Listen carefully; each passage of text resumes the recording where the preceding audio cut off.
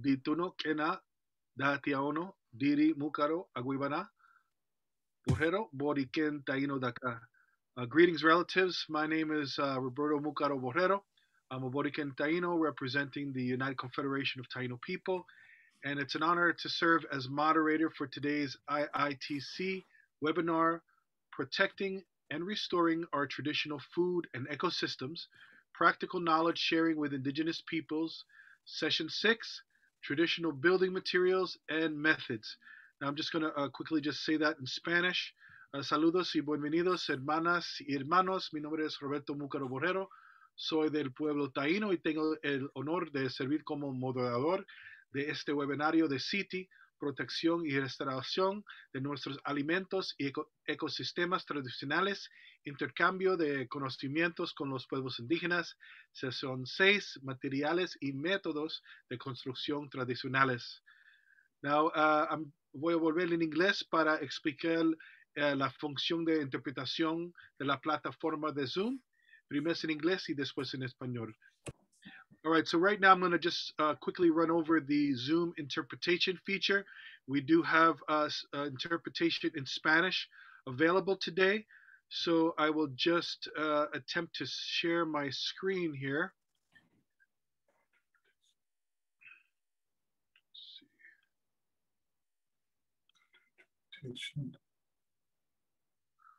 All right, you should be able to see my screen right now uh, with the images of the interpretation. If you go to the bottom right of your screen, you'll see a little globe.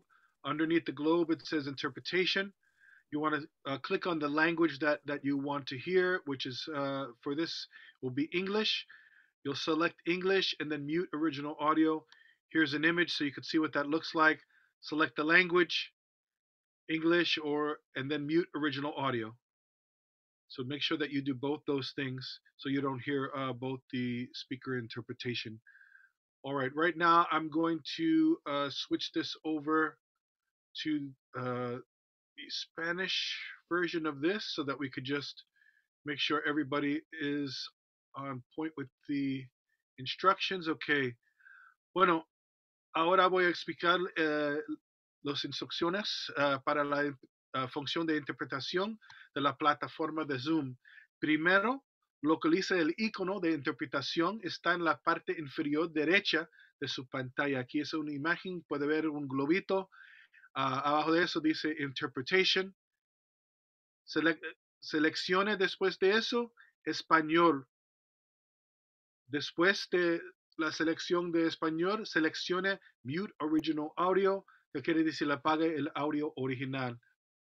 So, primero, seleccione español, después mute original audio o apaga el audio original. Voy a volver en inglés ahora porque tenemos interpretación. Okay, I'm going to stop my uh, screen share and we're going to uh, begin our, our webinar.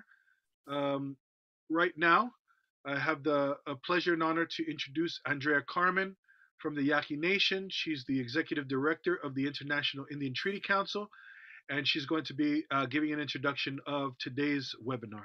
Andrea, you have the floor. Joko Tesia, Roberto, and uh, respectful greetings uh, to everyone that's here. Leosim Chaniabo, Umawayaim. And we are very honored to have a distinguished panel of experts, and I say experts very deliberately. Um, the United Nations uh, Declaration on the Rights of Indigenous Peoples, Article 31, um, affirms our right to maintain, control, and develop our traditional culture, cultural expressions, our sciences, and our technologies. And certainly, what our experts are sharing today is examples of Indigenous technologies that are especially important, not just for our sovereignty and our cultural rights, but also um, for practical methods to survive uh, the current double crisis we're in, not just the pandemic, but kind of the more far reaching and long lasting and uh, worsening crisis called the climate crisis or climate change. Uh, going back to our traditional building and construction methods um, are directly relevant to our survival in this regard. And I think that the panelists are going to be talking about that as well. Uh, the United Nations has a branch uh, or an agency within it called UN Habitat and they have regular international global conferences called um, UN Habitat or the World Urban Forum. And I was actually invited to be, I think, the only Indigenous speaker um, at the last uh, World Urban Forum that happened right before the pandemic set in and all of our travels were curtailed. But it was in Abu Dhabi, United Arab Emirates, um, which I'd never been to uh, that part of the world. So it was very interesting. And one of the traditional tribal leaders, actually, the whole country is made up of, I think, eight different um, emirates or, or tribal um, governments. And uh, the men wear the long white um, gowns with, you know, with, with, white scarves and quite impressive. Um, looking and, and after my presentation where i talked a little bit about uh, our building methods and techniques uh, in the time of climate change one of them asked me if the government of the United States had actually begun to incorporate some of indigenous people's uh, traditional building models because they're doing that there in the desert. They're looking at their traditional tribal building methods and how they can be applied to modern buildings to uh, decrease the impacts of climate change and keep the need for uh, especially air conditioning down um, in a very hot climate where they are in the desert. Uh, and it really reminded me of, of here when he was talking about it, but I had to say I couldn't think of one example where our knowledge is respected in that way and actually incorporated. They copy how it looks, you know, the the pueblo style houses with the logs coming out, but I don't think they they copy the knowledge that, um, or even have tried to reach out to uh, see if we're willing to share those things. And again, you know, sharing is always based on free prior informed consent. So I really thank everybody who's going to be speaking today. Um, and with those thoughts, I want to pass on the time to our panel of distinguished experts. And these are just some of the examples that we could have called on uh, already we've been asked to have a second webinar um, with some other examples from other uh, other nations. Um, but I'm really pleased to be able to present this presentation. I've never seen one like it. Uh, so I hope that everybody else will enjoy uh, some, some knowledge and respect away. So thank you very much for the introduction. And I turn back over to you, Roberto, uh, to introduce our first speaker. Choco Tesia.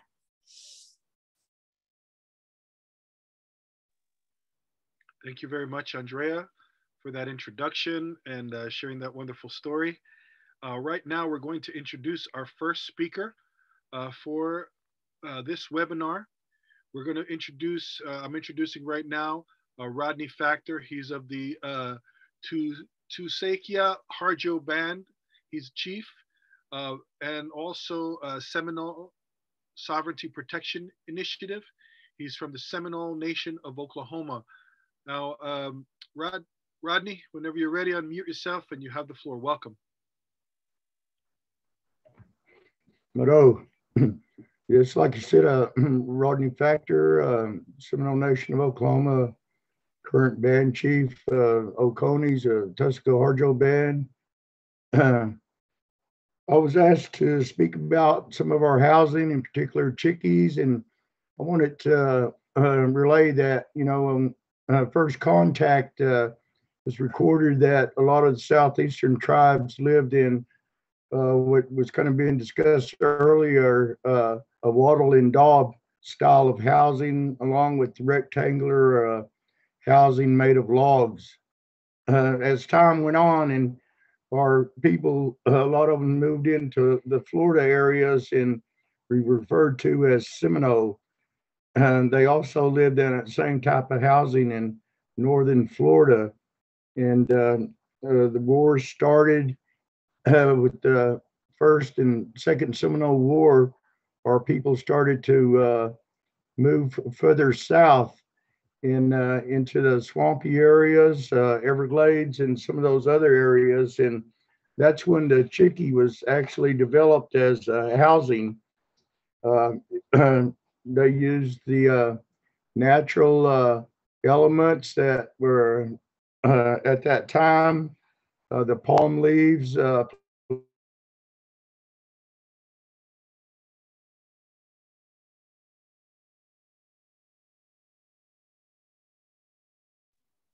Looks like we just lost uh, Rodney. Yeah, we lost Rodney. Um, Roberto, I, I can come in and say what the pictures are of.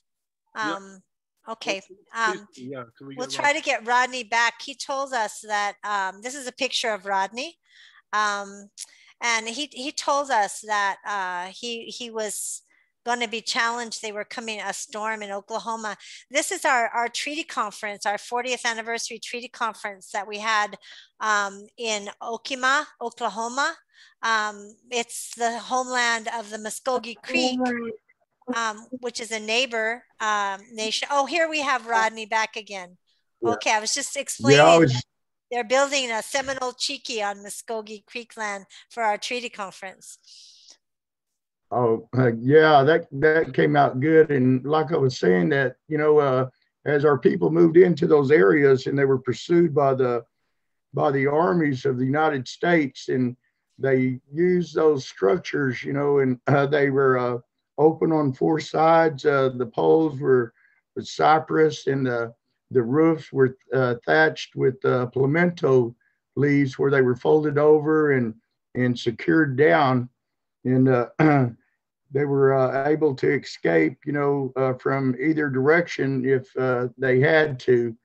Um, like I said, there were no walls, and so they wasn't confined to coming out one door and uh, they would move to another area. And uh, of course, the same material was available, and they started again, you know, to build the chickees. And uh, but as our people were captured and brought to Oklahoma as uh, prisoners of war, then of course we adopted a different type of housing. Uh, but the Florida Seminoles, they continued with that housing until later when modern material became more available. But I understand now that, I mean, I know that there's still some that uh, live in those areas and use the Chickee, and it became a tourist attraction where a lot of those are being built down there on uh, resorts, uh, understand golf courses and different things. Uh, with that material, uh, they lasted uh, up to 10 to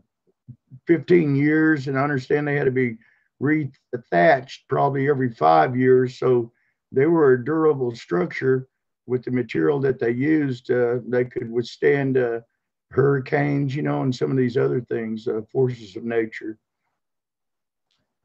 But right now, you know, uh, like I said, I understand that, you know, they're being uh, used uh, for uh, those kind of things, tourist attractions. And here in Oklahoma, we have had the opportunity and and I had uh, uh, some that have been down in that area to uh, to build chickees, uh, like Andrea was saying, with our out with our uh, our treaty conference there at the Roundhouse. There was a chickee built there, and here at the Seminole Nation, uh, we have a chickee built here, and we have them built every now and then, you know, just to to uh, show you know the kind of housing that they had, but.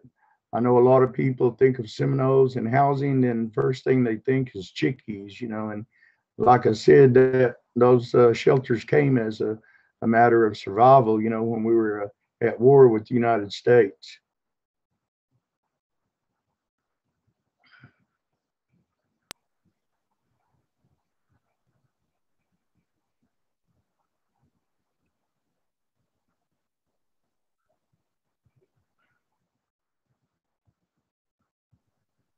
Rodney, I, I'm not sure if uh, because of the the um, the disruption before is, uh, are you ending your presentation there, or I'm not sure if I'm just not hearing you. Uh, yeah, I was pretty much, I was pretty close to the end, you know, just talking about, you know, uh, how those, uh, chickees, you know, they're still used and, and, uh, we have them today. Uh, a lot of them are built without the platforms, but my computer's starting to blink off and on, you know, and, uh, I don't know, you know, what the deal is, but uh, I think I got the, uh, you know, the point across of uh, the kind of housing that we used. And now we're looking at um, Muskogee Creeks here recently uh, built a structure of wattle and daub, you know, going back to uh, uh, those areas in North Florida and in around Georgia and Alabama that was used for housing and cultural preservation here with Seminole Nation. They're doing some of the Well, thank you so much, Rodney. We really appreciate uh, those words. Uh, I have to say, you know, coming from uh, the Taino people, the Chickees are very similar to what we would call caney and, bohío, using that thatch style roofing. And, and as you said, even in my own community, uh, they were known to withstand hurricanes, and and they were uh, those early colonists were pretty impressed with the structure. So I really appreciate uh, you sharing that and uh, sharing some photos uh, of the Chickee process. And thank you, Andrea, for stepping in a little bit while we had that disruption uh, of uh, Rodney's internet. So we want to get right into our next speaker. Uh, really, it's uh, Andrea will come back. I, I don't know, Andrea, if you just want to do a, just a quick introduction of, of this. Our next speaker, really who will be going through this, is going to be featured via video. And that's Angel Valencia who is uh, from the Yaqui Nation. He's a founder of North South Indigenous Network Against, Against Pesticides in Arizona. Andrea, I don't know if you want to add anything before we begin the video. Sure, I, I will. Thank you very much. Um, yeah, the the the construction process that he's going to be showing is mainly filmed at our house here out in the desert uh, west of Tucson. And I just wanted to add one thing also about the Chickees. Um, when we had our treaty conference in Florida, hosted by uh, the sovereign traditional um, Seminole Nation of Florida, we were able to assist them with construction of a lot of Chickees there. And we were informed that just right before, the year before, had been one of the big hurricanes that had uh, knocked down a lot of buildings in town. And uh, the the um, government people came out to their community and told them that they needed to evacuate, and they refused. And they said that none of their chickees um, blew down in the hurricane. They just picked up the side walls, and the wind just blew right through them, and they they stayed standing. So I think you know just and some of the comments that uh, Angel's going to make in the video also talk about how um, how we need to adapt with the, the climate crisis, you know, bringing back some of these ways that maybe we don't use as much anymore, but we need to take a second look at them in the same way we're taking a second look at our traditional seeds and food. Um, so with that, we can we can start the video. And uh, I want to thank Angel and Chris for helping, but also Alejandro, um, who's the filmmaker. Um, who helped us put this this film together. Angel's at work right now, so we're, we're showing him by video. Plus, I think it would be hard to demonstrate on Zoom how to make adobe. So um, thank you. Um, and I hope you enjoy the video. And it's in Spanish, so uh, make sure those who are listening in English uh, uh, get the interpretation. Press the English button on your interpretation icon. Hola, buenas tardes. Hello, good afternoon. Valencia. My name is Angel Valencia.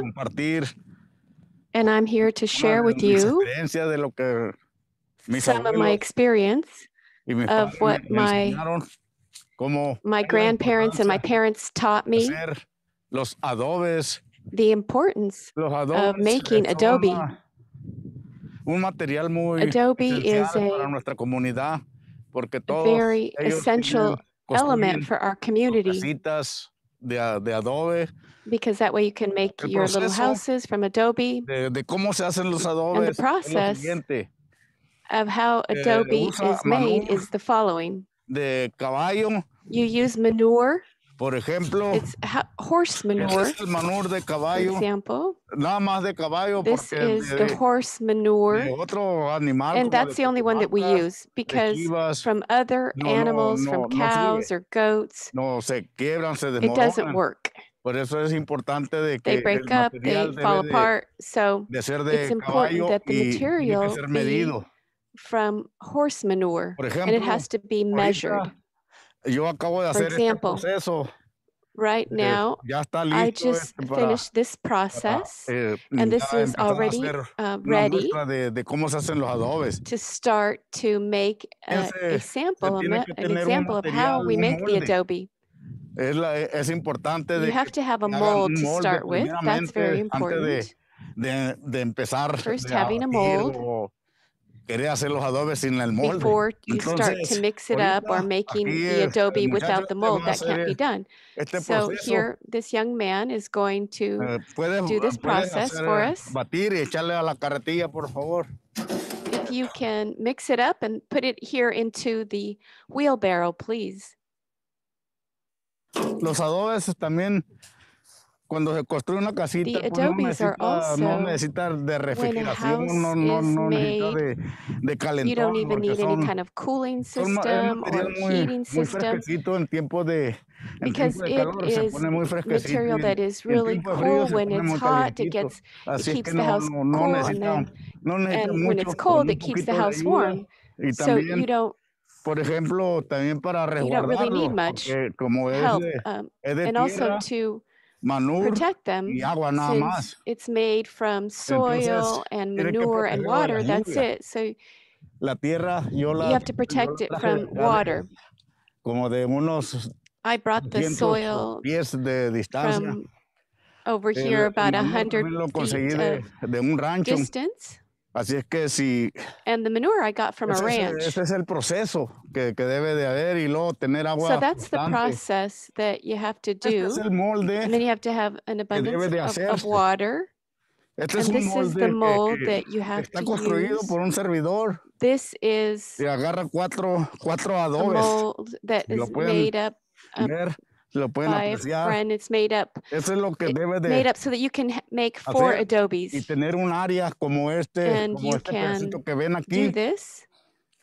Have an Es un area área que te- like this debe estar little limpia piece para que no here. tenga You can use this area. mucha, It's an mucha area piedra, mucho, that can be que clean no haya so that palos, que no haya you don't have a que no lot of haya nada, dirt or nothing que esté completamente limpio. that there's no eh, no kind of stickers or Así es que ahorita le voy a pegar sticks or anything. It has to be completely clean. vez que se va a utilizar, And so I'm going to clean it up a little bit Entonces yo voy a hacer esto, because every no time that it's going to be used, you need to wet it. It doesn't fit, but I'll see how I can manage it. Ese es- esto es lo que debe de hacerse uno, pero cuando tiene todas las, las cosas a la This is what needs to be done. eh, es más fácil. Ahorita need to have everything there ready to use. It's much easier if you do it that way. el, Right now, it's just to que, pues, que mis padres me enseñaron. to share this gusto lo comparto. knowledge that my parents taught me. And I do it with great pleasure to share this information with you. A ver si se puede más. Ahora sí, Cris, por favor, ¿me lo puedes traer?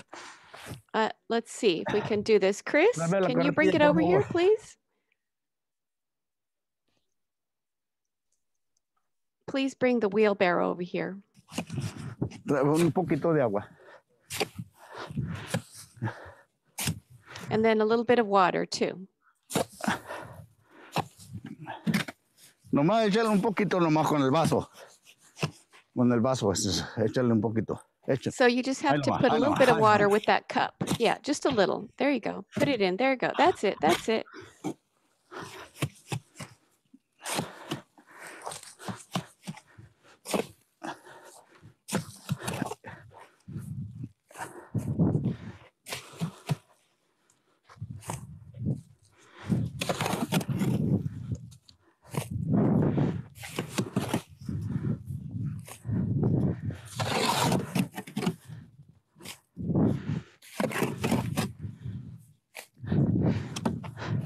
Ahora, esto es lo que debe de hacerse. En el adobe Now, se tiene que picar bien This is what you have to do. para que no quede poroso. The para que no adobe, you really have to punch it out, move it around so it doesn't have porous, it doesn't, re- any air doesn't remain in there. Y salga un adobe move it around bueno, bonito, como usted lo so that quisiera. you get an adobe that turns bien. out nice, the way that you would like it to turn out, nice and neat.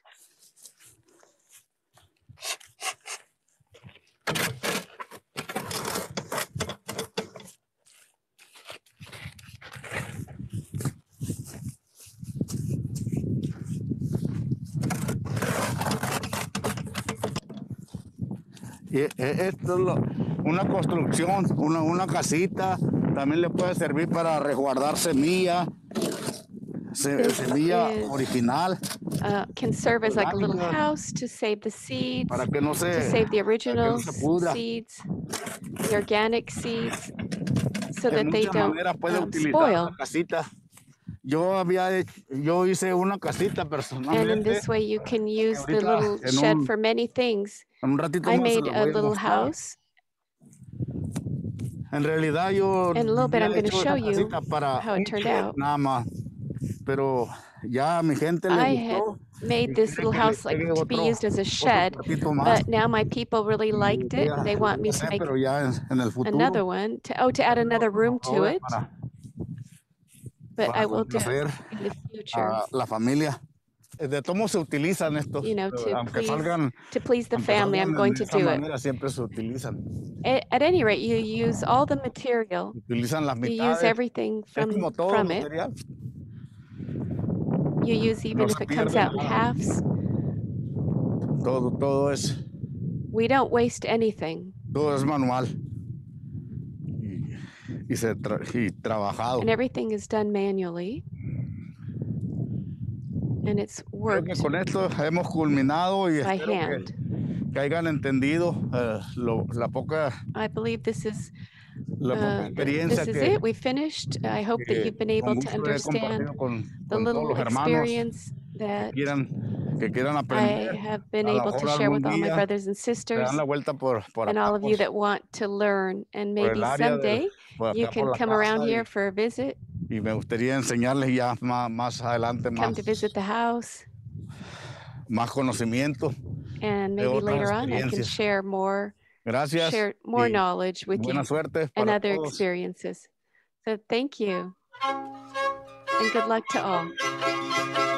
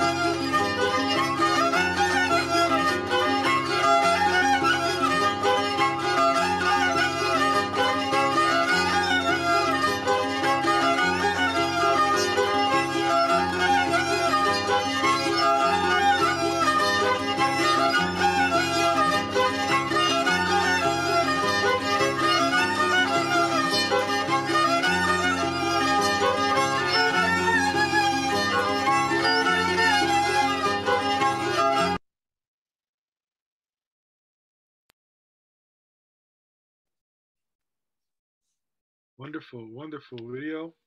Uh, thank you so much uh, for sharing that, and please send our thanks to Angel uh, when you see him later this evening. Uh, we really enjoyed the video and also the the wonderful Yaqui music uh, uh, towards the end. Um, Andrea, I don't know if there's anything else that you want to add before we move on to our next speaker. Okay, I see that you're saying no. So right now, we're going to go to our next speaker, Roberto Nutlouis. He's uh, Diné. He's a traditional builder and he's also calling in from Arizona. Uh, Roberto, when you are ready, please unmute yourself and you have the floor.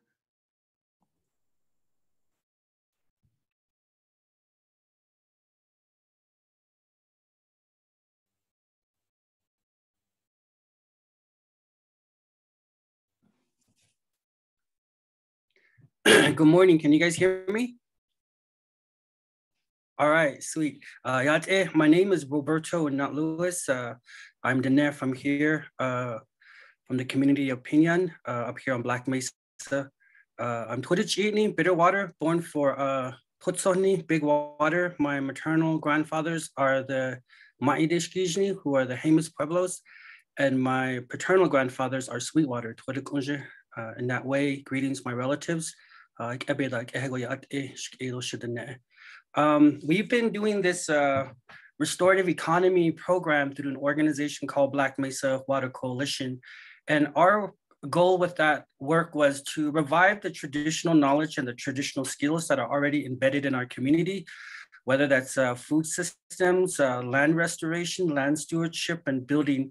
And through that work, we came across this, uh, the art of putting together our traditional homes, the, home, the hogans, we call them hogans.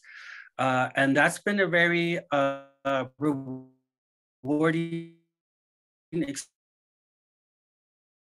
experience working with our young people. I part of the internal practice to the and one that really took off and we got a lot of positive response from both communities and uh, the young people that participated in our in our work. One of the main um, in, in terms of engaging with our communities and our elders, they always tell us about the need to uh, keep our traditional knowledge alive and passing that knowledge on to our young people. So I feel like uh, Hogan building is one of those ways to do that.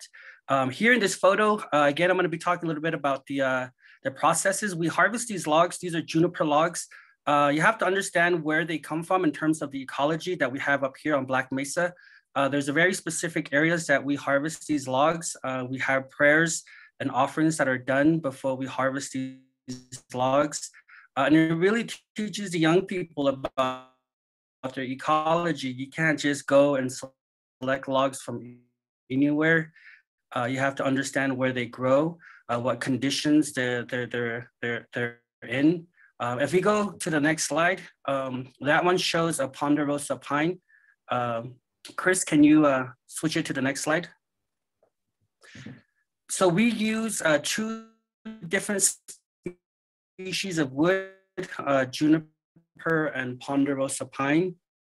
Um, and, and again, the first part is just harvesting it and uh, cleaning uh, the logs. And this is really important in terms of our interaction with our ecology. We have a lot of forest fires that are raging in Aboriginal homelands. So we've been utilizing these resources, these uh, um, in terms of construction. And since we've been removed from these places, a lot of our forests are unhealthy. So when we collect these logs, we're actually thinning out the forest and improving the health of the forest uh, in these homelands. So here the, the young men are putting together the pillars um, and this is where we start from. Uh, we're building this uh, Hogan. Uh, it's a current project that we're working on out in Star School. Uh, and then in the background, you can see our Western Sacred Mountain. Another part of our work is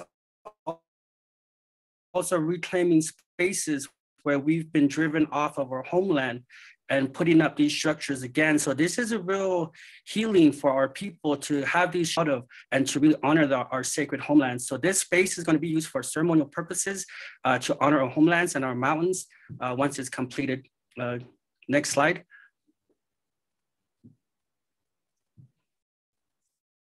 Can we get the next slide?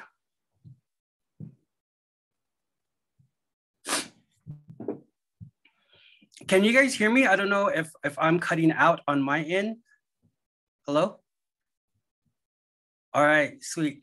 Uh, I don't know if Chris is hearing me. All right, cool. There we go. So here we have ponderosa pine uh, that we're putting on top of the juniper logs. Again, the juniper log is a, a hardwood, so it can go into the ground and it'll be uh, more resistant to uh, rotting, whereas pine is softwood. So we're using that for the roof structure. So here the young men are putting the roof structure together um, and the way we do this, this is all self-supporting beams. Uh, and then once you go in, once it's, it's, complete, it's very mesmerizing just looking at the way it's put together. Uh, next slide.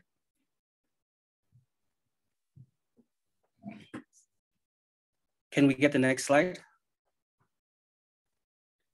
Uh, and here, the this is where we finished putting the roof together and all the pillars. Uh, the next step, we're gonna put the, the walls uh, around uh, the Hogan. And it, it's a lot of work and I'm really uh, proud of the young men that I work with. They're willing to work all the way, even when the sun goes down just to complete these projects. So again, the, it's really important to understand that our young people are very strong and very willing to learn and, and and our, are, are very perseverance to the elements uh, that we work in. So I just decided to add this picture to, to demonstrate that. Uh, next slide.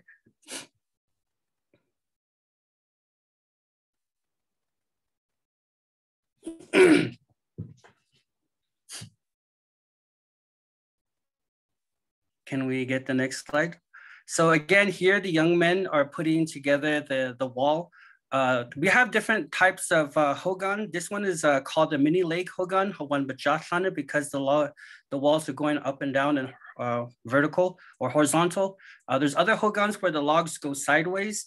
So, and then we also have a male hogan, but this is the mini lake hogan that we've been able to revive in our community. And we've gotten a lot of requests to, to build these across our homelands. Next slide.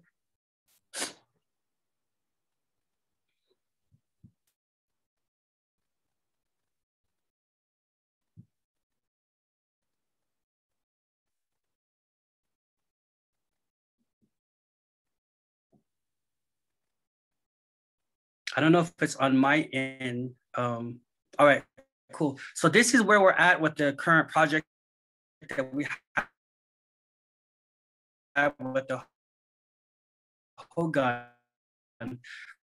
Right now, we're letting the logs sit like this for another month before we cover it with the dirt. But this is how it would look once you assemble the wooden structure. Um, yeah, next slide. Some of the things that we're doing uh, is also innovating with uh, how how to build these structures. As you can see, there's a building wrap on the bottom of the logs. Uh, traditionally, our people didn't have building wrap back in the day, but now that we have that material technologies and new ways of doing things. So here, there's a wrap, so it's a moisture barrier wrap uh, to done. Uh, next slide. You can also see there's a chainsaw right there by the Hogan. We also use uh, uh, machines for that. Uh, right here, the young men are plastering the gaps in between the Hogan uh, and then we're uh, developing a stem wall. Most of the time, the, the, the, the, earth that is covered over the hogan reaches all the way to the ground, but that requires a lot of maintenance, putting the dirt back on once it washes off throughout the season. So we're, again, we do a lot of innovation to these traditional architect. here, we're just doing a dry stack stem wall using the local rocks so that it can hold up the dirt and it doesn't just melt into the ground. next slide. Uh, and this is how it looks once uh, we put all the logs together from the inside. And when you come into this kind of space, and as the first slide showed, when we talk about traditional knowledge, all of this uh, serves a purpose in teaching that knowledge to our young people. And all of those knowledge, whether it's the, the the, the, different life forces and the energies that exist, the sacred mountains, it's all embedded in the teaching is embedded in this. And it's very uh, unique to have our medicine people, our elders come to these spaces and you know share this knowledge to our community. So uh, that's what these buildings are serving as as we build them is to a space to re reteach our young people. Uh, and this is how it looks uh, uh, once we put it all together and put the dirt back on. Uh, this one we built out in Cuba, New Mexico for the school. it now serves as a as a space for for for Navajo kids. The, the school is off the reservation, but 70% of the students are Navajos. Uh, so this is a structure that we built again on school campuses. The irony is that uh, that the schools where our students go, those are the spaces where our language and our way of life were being, uh, during the boarding school, uh, were being eradicated, but we're coming back to those very same spaces and reclaiming uh, spaces to teach our traditional knowledge. Uh, this Hogan we built uh, out at our site. We use this for our community organizing. We bring our young people, our community members to this place to talk about how do we, you know, the challenges that we see in our communities and what are the opportunities and how can we promote change in our communities? So it also serves as a community organizing space. Uh, next slide. Can you guys hear me? I get a internet unstable on my end. I don't know if I'm coming through. Uh, here is, uh, again, the, the utilizing the space for the community to, to bring people together to celebrate. Uh, and also you see all these young people there. Uh, it's really important for them to experience this. I, I, think a lot of times we just talk about traditional knowledge as something of the past, uh, but now we're bringing it into the present. And now our young people are experiencing what it looks like. They participated in how it was constructed. So it's a living memory. It's not something of a distant past. And I think that's really critical if our young people are to carry this knowledge forward that it has to be present and has to have meaning to their own experience. So uh, creating these spaces and celebrating with the community uh, serves that purpose. Next slide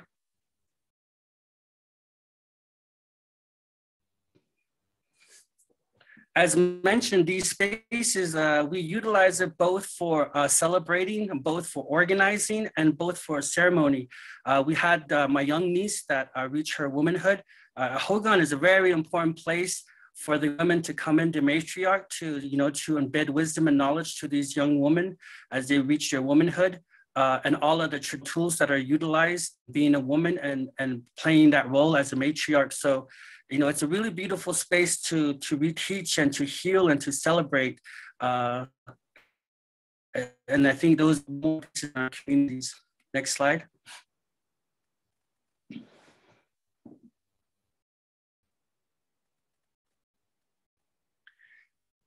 And these are the young men that I've worked with over the years. Uh, my goal is to, to train them. Uh, right now, we're, we're working to build up their tools. We're buying them uh, power tools, uh, chainsaw, and setting them up with different folks that are interested in uh, these hogans. I think the next work and the next challenge is creative financing. A lot of our people want to build this, but to pay our young men a, a fair wage, uh, you know, we need to go into financing. So if there are people out there that know how to do creative financing, I'd love to hear from you guys. Maybe that could be a webinar of itself uh, because it does take resources, it does, it does take money to do this work. And a lot of times our communities are excluded from those financial institutions uh, that, that exists. Uh, and we need to do, we need to figure out other creative ways so that our people can be able to afford these structures. And again, we get a lot of calls uh, for these kind of from our from our community members.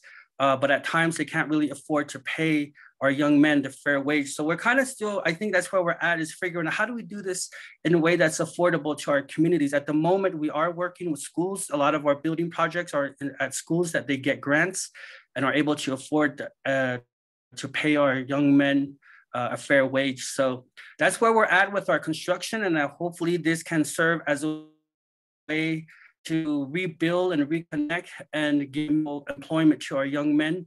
Uh, so that concludes my presentation. I think I went over. Yeah. Thank you so much, Roberto. It was really beautiful to see. I was also uh, mesmerized, as you said, when you showed the interior of the Hogan that was built by by those young men. Really beautiful work. A lot of uh, really positive feedback uh, for the building going on in the chat. And, uh, you know, we'll come back just so folks know that after all of our presentations, we will open up for questions for all of our presenters. Uh, so right now I want to introduce our next and final uh, speaker for this segment. Uh, that's Radley Davis. He's from the Pit River Nation. He's an IITC board member, and he is calling in from California. So Radley, when you're ready, please unmute, and you have the floor. Good morning, everyone. Chimisanui. Um, I'm a woodworker, uh, and I really honor the wood, and I'm just so thankful for what I've been able to learn and continue to learn. I'm Ilmaui Pit River, uh, Maidu, and Miwok on my father's side, and my mother, she's Winnemem Wintu. And um, I've had the uh, honor to just learn from uh, different elders uh, with their knowledge about um, what's available out there in the in our homelands, and um, it's been it's been it's been a joy and continues to be. uh, what I'm going to talk about today is just some of the wood woodworking that I do. And I was going to be up my canoe that I'm making for Pit River Tribe. I'm donating it, but it's snow. It's snow, a lot of snow up there right now. So, but what this presentation, getting ready for it, did it, it uh, got me going to. Um, I see that you see in my pictures. though. that's uh, we got. Uh, there's the canoe. We got our young people there. See our chairman Mickey Gemmill's in there, past chairman. He was in the one of the earlier slides too. Pretty cool.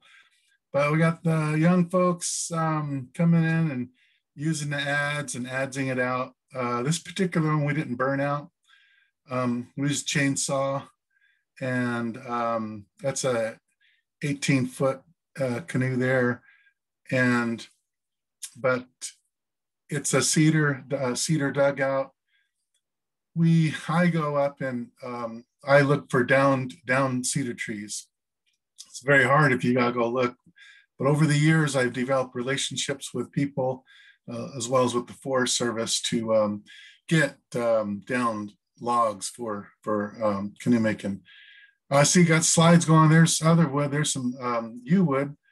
Uh, so got some yew wood uh, and my bows there and uh, uh, one of the bows, the taller bow, that's actually a, a, a juniper, a sinew-backed uh, recurved bow, and the the one on the right is a Pit River sinew-backed uh, bow.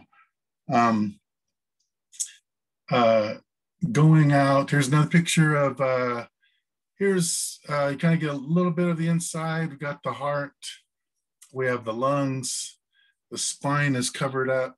Um, it's honor this um, uh, this alive uh, relative, and of course we we make offerings and sing our songs for the spirit of the tree and taking it from its homelands and and and taking care of it. So there is um, a process of um, honoring uh, and talking to uh, this uh, sapi. It's uh, which means canoe, but it's um, um, uh, you know, just uh, learning and get um, young people to come and help and pass down what we can.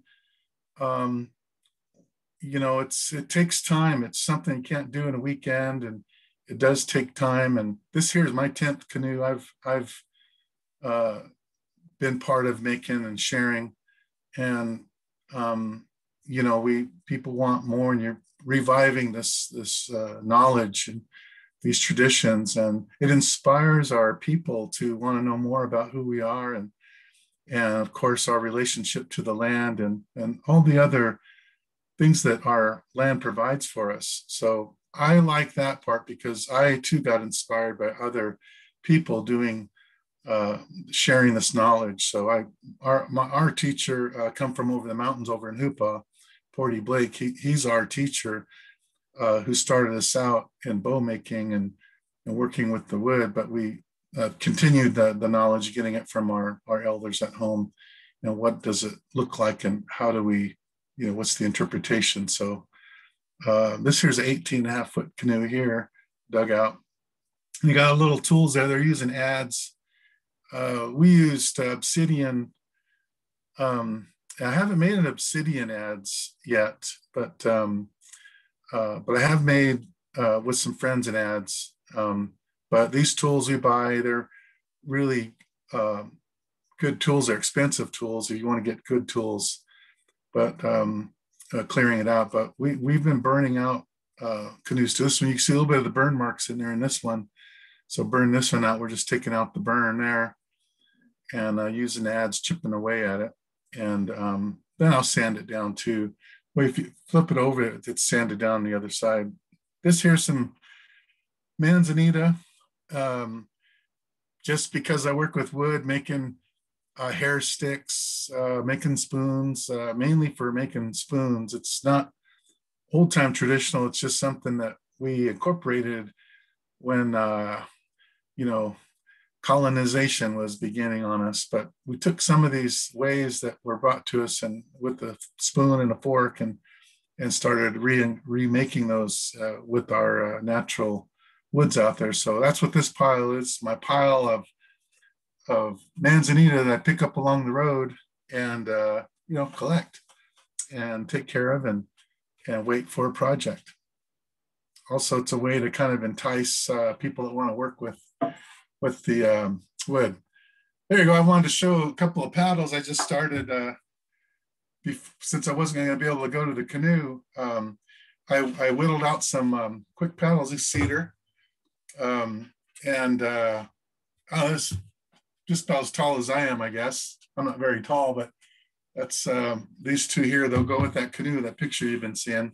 I'll give you know giving this to the tribe, and then um, uh, you know we've also we got a 36 foot uh, canoe that we got back from a, a, park up in Oregon. It's large canoe and and uh, you know it's big, but it just surprised me that we had a canoe that that big, and uh, it's beautiful and it's it's like perfect. Uh, so it's it's continued to be inspiring, but um, we uh, still have yet to uh, sing um, for it and make a ceremony for it and uh, take care of it and bring it back to another place where it can be um, uh, you have a permanent home. Um, but it, it is back in Pit River, just another part of an area that doesn't really have the the dugout cedar dugouts. We have tule tule boats too, and cedar dugout canoes, so different watercrafts. Um, uh, I, you know, there's evidence that we used uh, yellow pine to make a dugout. I look forward to making a dugout with yellow pine. Um, and I want to show uh, uh, just a piece of wood here that um, uh, put this away here, sit on the side. But um, so it's like, for example, here's a piece of um, yew wood. This here's a hardwood. But the interesting thing about this um, yew wood, this really hard wood, it's also water wood. And uh, our people very like scientific, like how can you make a bow out of hardwood? How are you gonna get the, the bend? This here's like a little blank, you know, another one just kind of blanking it out, yew know, trimming it down, right? And then um, let's uh, let me start. Oh, here's one right here. So then I start uh, whittling it down to shaping it more, more of a better blank. You can see my picture here. This is all you wood here. So, and then we get another one. It's a little bit more sanded down, a little bit more. Uh, I put a little oil on this one. Uh, so that's why that's why color pops out pretty good. So there's a little curve that I steam this, steam this with some steam and uh, bend it. And like I was right here, I, I, learned this with my teacher and it's something that when I leave with the canoe and even with the bow, just uh, taking your hand and just the shape, feeling the shape of it, knowing where you gotta, you know, take it down a little bit, and you you begin to have that relationship with the wood, and uh, it's just something you feel. Uh, hard, not really. You can explain it, but until you feel it, have that aha moment as you begin to work and honor uh, this uh, wood, that it really starts to make sense. You know. Then the uh, arrow. Here's the cedar. A cedar, a piece of cedar cut out, and then you make an arrow. Right. And uh, it's got a little bit of design right there stop and don't go too fast for you.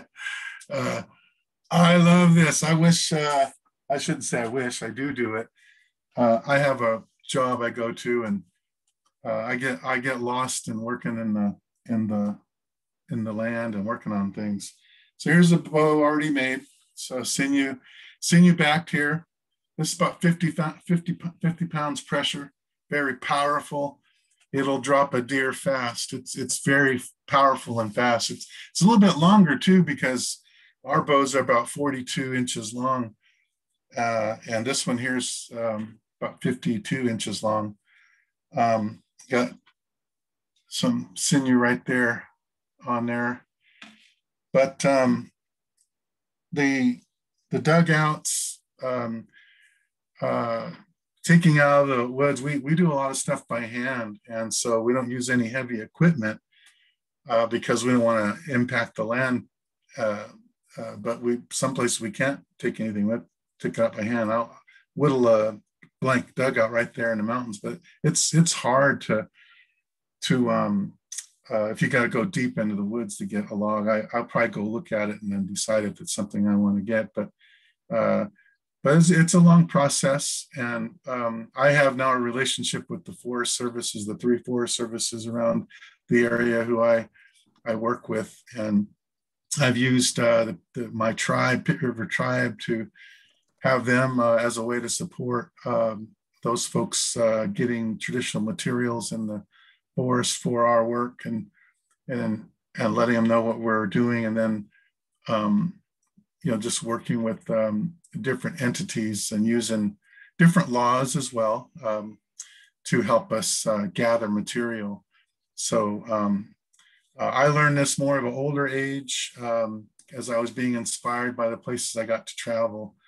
And um, so uh, part of learning um, of just pieces of what I'm sharing with you is to give back and to, uh, that's the power of how we keep these alive is to um, share. And, um, and I have, uh, I've developed patience over the years, but I, I know sometimes, you know, uh, uh, some of my crew don't come back for a while, you know, and they got a nice good blank if on the bow or something. But I enjoy um, uh, taking people out in the forest and, and sharing what I know. And then it's nice to take out uh, our chief or other knowledgeable people who uh, will can, will share even more things, you know, out there and uh, foods and plants out in the, the woods and how we honor um, everything, how we're connected to it. Um, uh, so um, I don't know how long it takes to build a canoe because uh, I've just we've taken time. We've had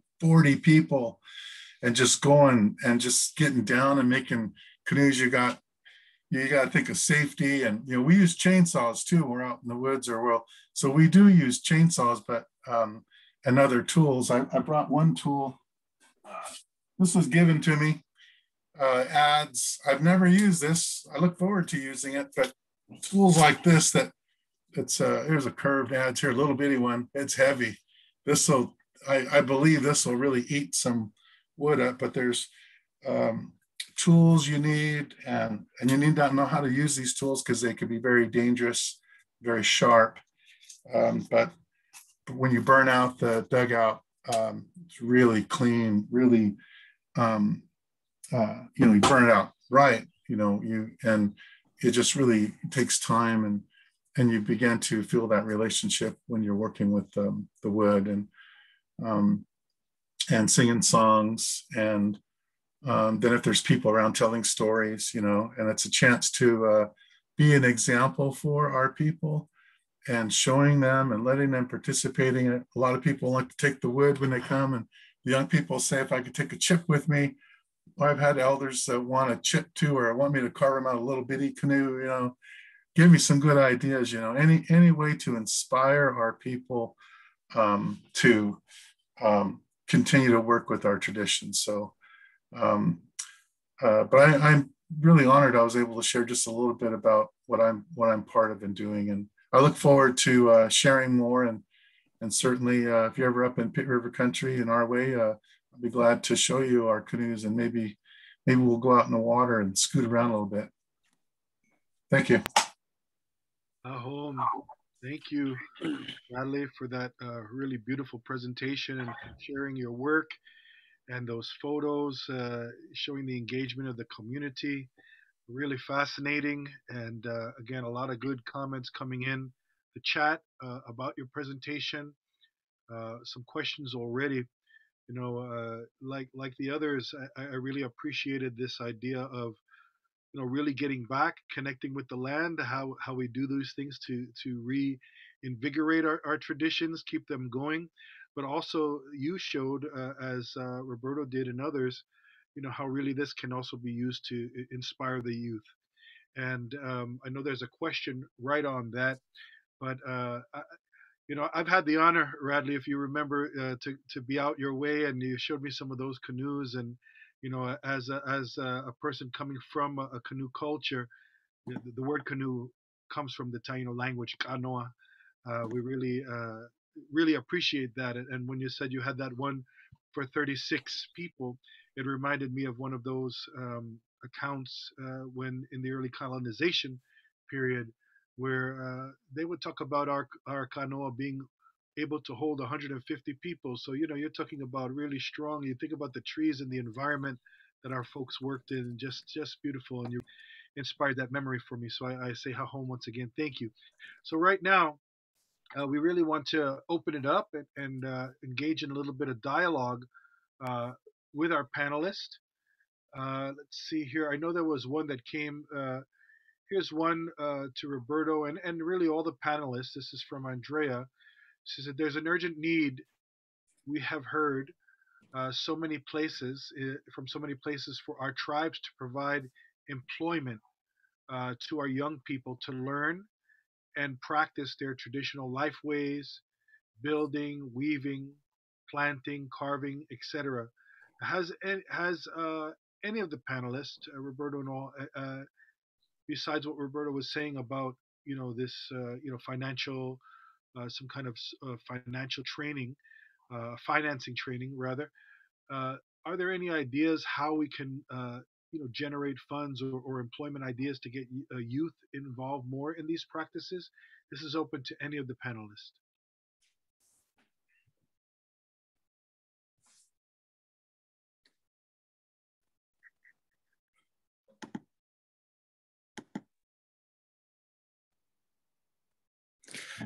uh, this is Roberto. I'm sorry I got knocked off uh, earlier. Um, to that question, uh, creative financing. Um, one of the things we're doing is uh, we've been working with the Hopi Tutskwa, and they've been able to secure some investment funds where they are utilizing it to help build homes using traditional knowledge uh, and young people in it. Um, so we're kind of uh, looking at how they evolve their loaning, the, the loan programs that they've established um, so I think I'm not too familiar with financing. That's why I was saying like I think there's a real need for training, but also to develop our own ways of financing these initiatives in our communities and that, that it can take root and really build a local economy. So I think this is where we need more uh, business people that can get involved in helping us to shape uh, not only policies, but how can our people have access to the resources needed to do these activities and these and, and sustain these lifeways. Um, so that's the only one that I could look at is uh, Hopi Tutskwa and some of their their innovative ways of financing, helping families finance their home, uh, and they're not really going through your through their traditional banks. Um, so, and I know there's other initiative like the um, what do they call that? Uh, Community Development Corporation. Um, Community Financial Institution, CDFI. I, think those are the two that we've looked at when I was working with Black Mesa Water Coalition. That those are ways that we can try to uh, develop internal uh, financing capacity uh, to, to carry this work forward beyond just projects and grants. So I think there's a lot of research and a lot of innovation that could come into continuing to dive into the financing side.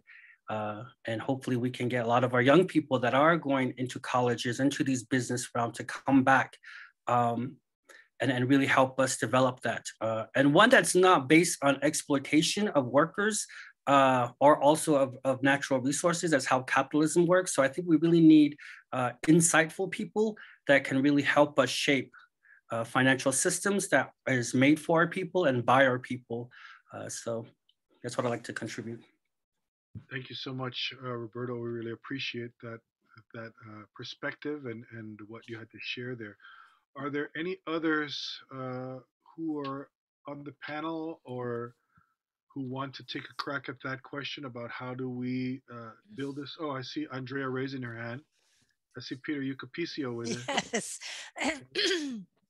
it just so happens that um, our tribal chairman uh, for Pascua Yaqui tribe, um, Peter Yucupicio, came in to pick up some um, and hand sanitizer we had for our ceremonial participants um, that we got donated. Uh, but he would like to respond to that question of how can tribal nations support um, uh, indigenous young people to keep these lifeways alive i notice i know that uh, we've talked about you know if, if our young people we want them to go to school and if they learn to be an accountant or a nurse or a lawyer they probably have a job coming back to the tribe they would be welcome but what about if they're traditional farmers or adobe makers or canoe carvers or hogan makers how how can our tribes provide support for young people to do that kind of work that is really essential to keep going. So Peter wanted to comment on that if that's okay. Yeah, good. Welcome, Peter.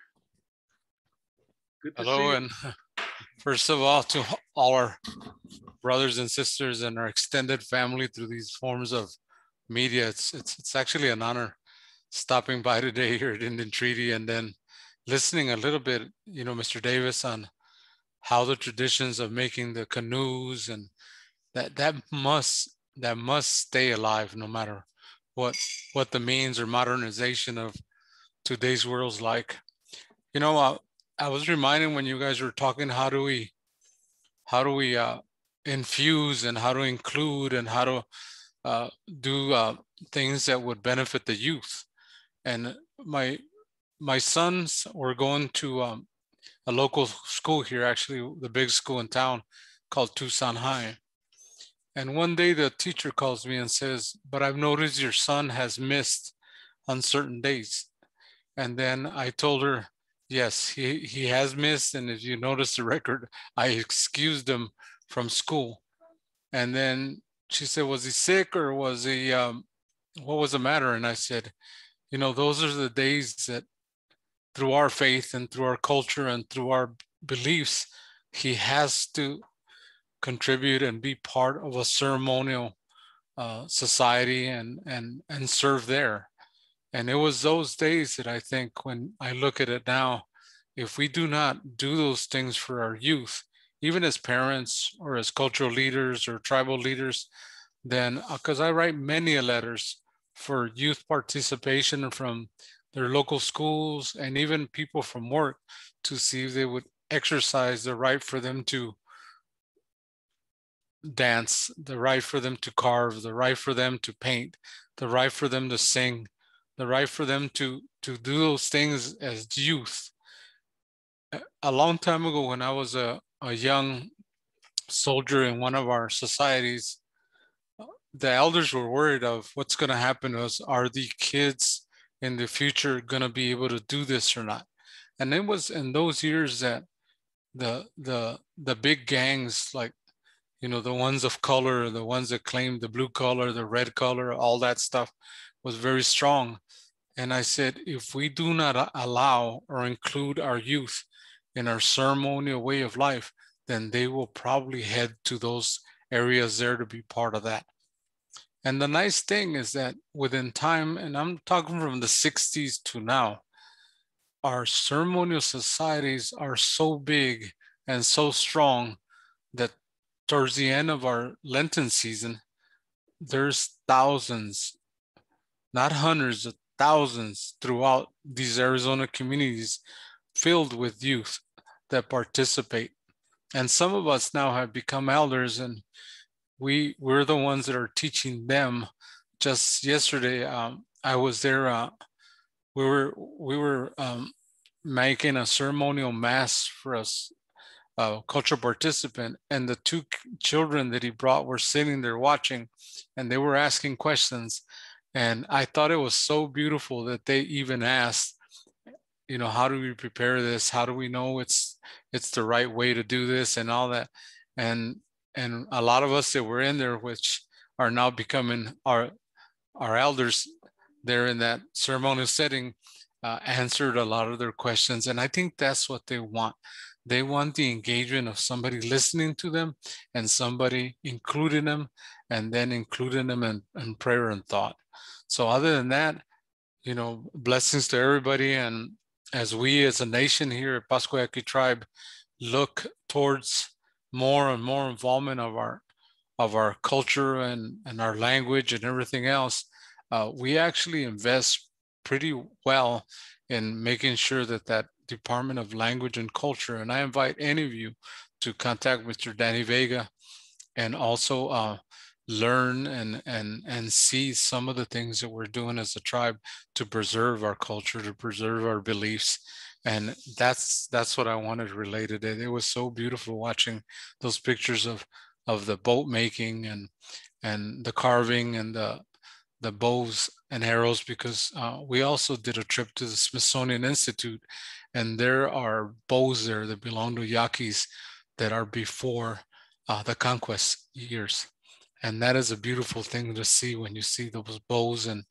the the the arcs and all those that are built by uh, our members and by hand. So thank you very much, and it was truly a blessing to to th- share thought and prayer and and this this uh, way because Andrea was telling me that I missed the presentation from Angel, but you know some of us as children were building our adobes we were actually the kids that were thrown in the pit. And once the grass was thrown in, we were all jumping in there, having fun and all that stuff. But we were actually part of the adobe making when we were five, eight, ten years old. So it, it was beautiful actually to, to know that Angel was still doing that and teaching the adobe uh, craft. So thank you and blessings. Thank you so much, Chairman Yucupicio, for being with us and sharing those beautiful words. Got a lot of good uh, good responses in the chat for your presence and for everything that you had to share. Uh, really important, and and I I'm really happy also that you highlighted the ceremonial connections to all of this. Radley did that, and and, and uh, Roberto did that, and others. You know, connecting that idea of continuing these these these activities, but also that they are connected to ceremony, just as we're connected to the, to the environment. We're really beautiful. Um, I don't know if any of the other uh, panelists, uh, Radley, uh, Rodney, uh, if you want to add anything that maybe you felt that uh, you, you just feel might want to you want to enhance uh, what you shared earlier or maybe you remembered something else based on uh, some of the other things that were shared if you feel that there's some other words uh, that you can impart, uh, we're certainly open to that. Uh, and uh, for those who are listening in, please, if you can, uh, type your your questions into the chat so that we could share them. But I, I see the chat has been very active. There's been folks who are talking about everything from crowdfunding to finding other ways to to grants to to National Endowment for the National Council of the Arts Endowment and arts, etc. There's a lot of interesting information there. Uh, so I would I would uh, recommend people just peruse that or, or look through that uh, as you as you have time. But uh, Rodney or Radley, did you want to add anything else to considering this all this other uh, information that has been shared?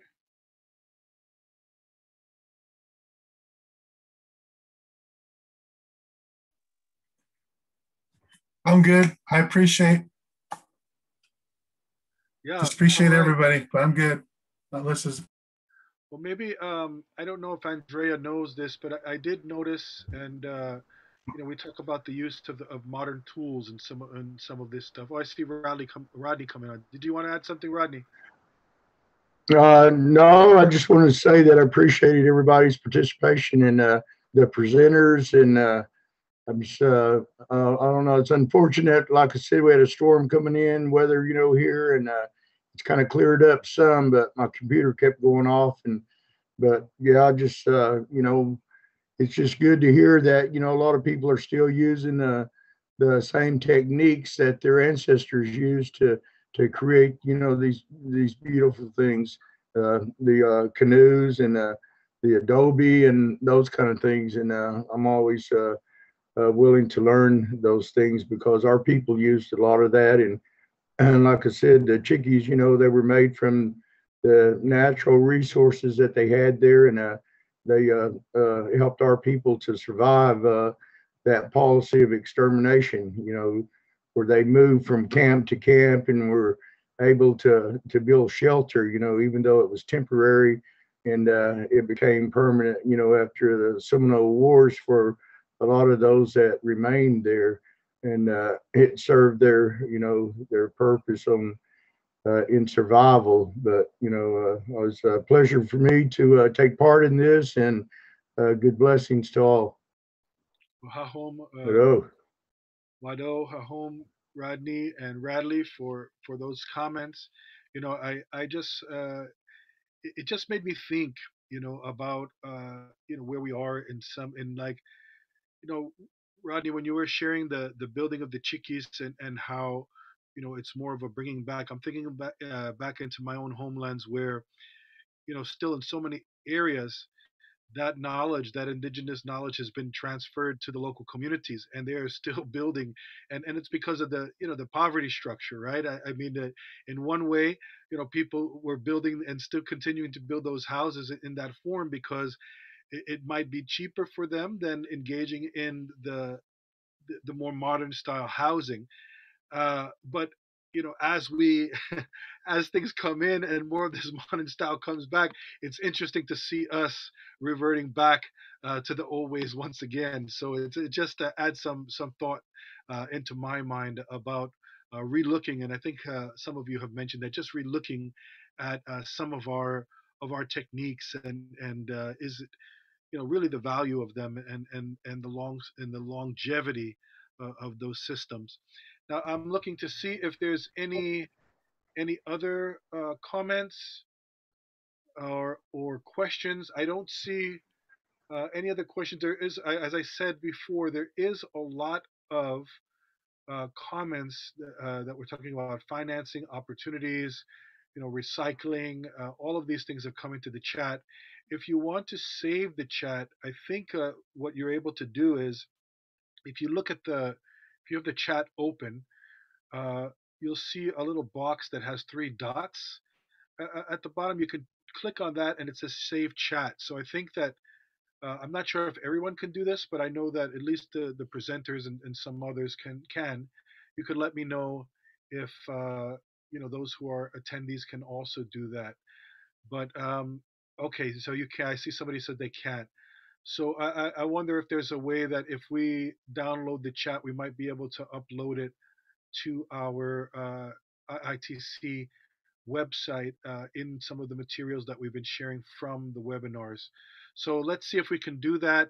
Check back again. Uh, ITC website is a good uh, resource uh, to follow up on, on these webinars.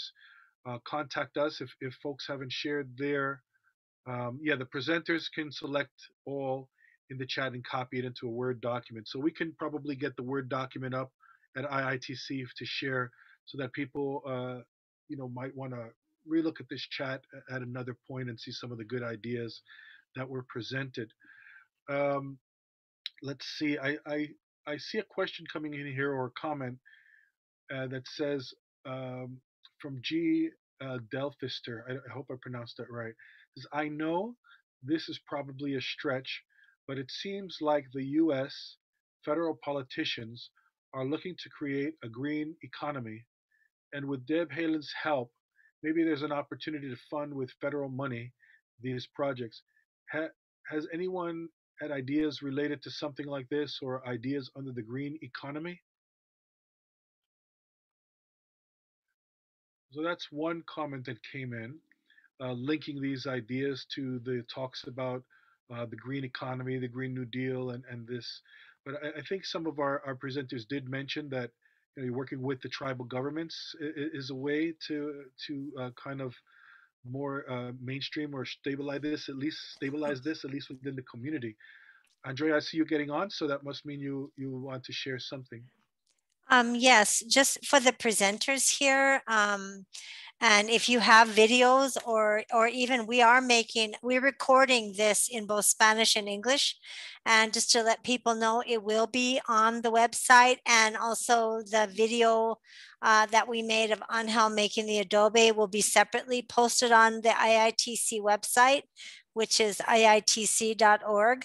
And we have a special section uh, for these webinars. So everyone will be able to um, access that. And I'm not sure if it's on our webpage or if it's linked uh, to uh, YouTube, but there's a way to access not just this one, but the other practical knowledge sharing um, webinars that we've done. Uh, and um, I, I think, you know, this is also something that you know we're seeing i guess on the international level especially around uh, the un framework convention on climate change you all probably know but i'm the co-chair of this year of a un body called local communities indigenous peoples platform. And it's they're they're doing the same thing as as many of our tribes and even outside society is doing is recognizing how much indigenous people's traditional knowledge and practices uh, really are geared to um, ensuring that we're able to to sustain our our lives and survival in this time of climate change. And i think that all of the presentations today showed that these are energy efficient using uh, local resources um, and and in the case of our adobes you know those, those are buildings that don't require even in the desert you know air conditioning or heating because they they stay you know temperature balanced because of the makeup of the adobe. So um, these are things i think that are getting a lot of attention and it's up to us to decide what we want to share. Some of our sacred knowledge of course we're not going to share it but um, these kinds of, of um, techniques and knowledge are beginning to be really recognized finally, you know, and respected um, at the United Nations as well. So uh, we do have a website and a portal for this UN body. If anybody has something they would like to submit and be posted it's also another way to possibly look for funding um, internationally, because sometimes in other countries outside uh, the US, like in Europe, there is other kinds of funding support for these sorts of projects. So those things you're willing to share, um, I think you know we can we can get them uh, posted uh, on a UN website if you're interested. I'll just you know just email me if you would like to. It's Andrea at treatycouncil.org uh, if you would like to post any of your information and share it um, globally. Thank you. Thank you so much, Andrea. We have a question uh, or comment uh, from Frank Ettawageshik, Elder Frank Ettawageshik. I don't know, Chris, if there's a way to uh, allow him to to speak. Yeah, there is. Uh, if you can change his. Okay, Frank, uh, you're able to to talk now. Okay, thank thank you very much. I, I really appreciate all the the panelists today and all the, the information. I do want to have a word of caution. I mean, we're talking about uh, in, in terms of, of preserving our traditional ways, we're talking about trying to use state or federal money, even international money. We're talking about these kind of things being brought in. And to me, while those things, if used wisely, those things can be helpful, it's not good to have our traditions become dependent on outside money. They need to be within our communities.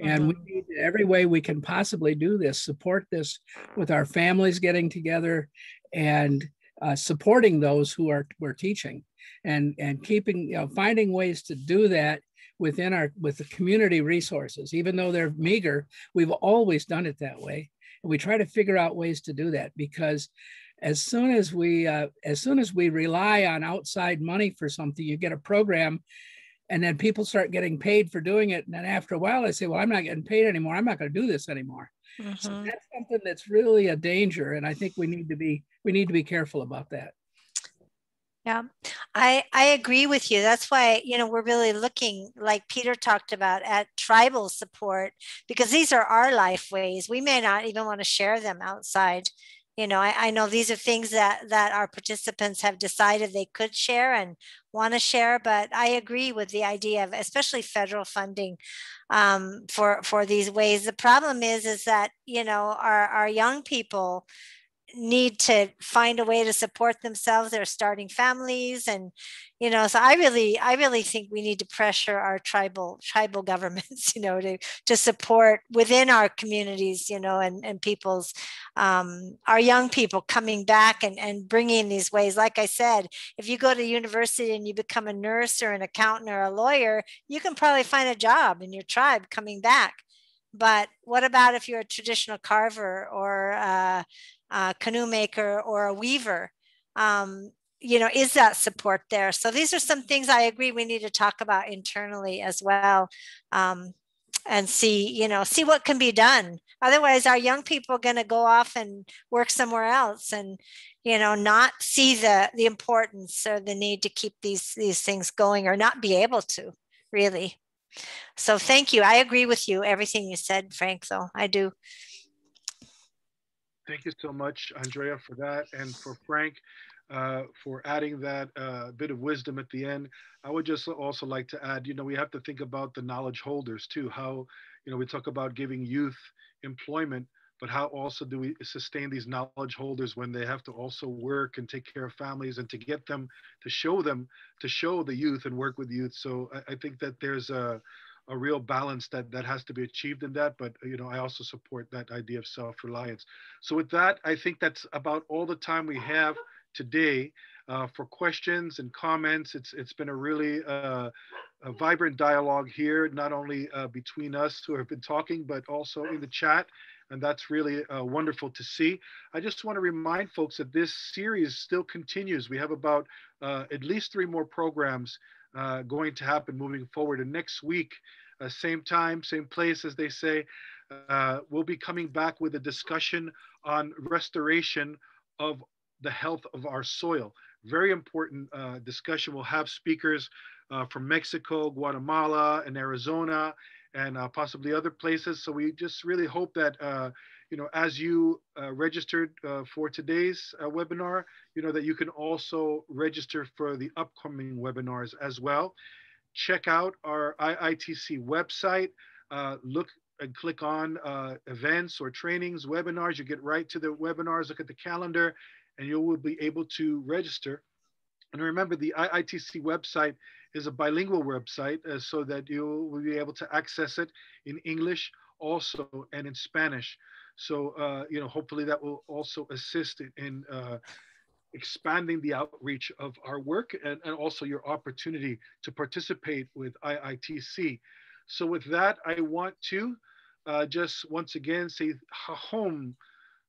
Thank you to all of our presenters today, uh, Radley Davis, Roberto Nutlouis, uh, Rodney Factor, uh, just Angel Lancia and uh, Andrea, of course, uh, as always, everyone, and also Frank Ettawageshik for adding uh, some commentary, Chairman Peter Yucupicio for coming in and adding some commentary, and of course to all of you who have added comments and, and have continued to support this program uh, uh, through this phase.